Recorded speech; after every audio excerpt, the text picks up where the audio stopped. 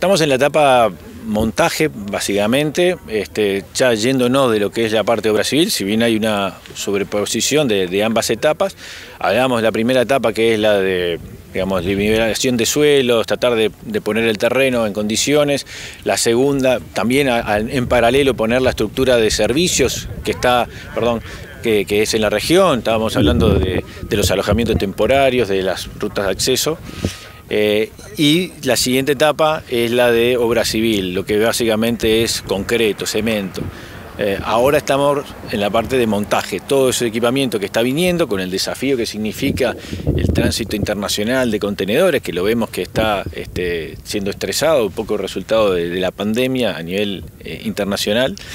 Este, todo ese equipamiento está viniendo al, sitio y está siendo este, montado.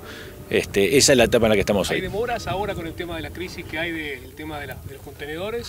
Hay desafíos sin duda, porque es, es, una obra muy compleja, muy vasta, donde sí tenés algunas este, situaciones específicas en, algunos, en algunas zonas y empiezan a salir los planes de mitigación que obviamente este, se requieren para poder encauzar la obra. Eh, sí, hay muchos desafíos en todos los frentes. No, con respecto al tema de los trabajadores, ahora se ingresa a la etapa de montaje, eso aumenta el número de trabajadores, ¿hasta eh, en qué eh, número estaremos?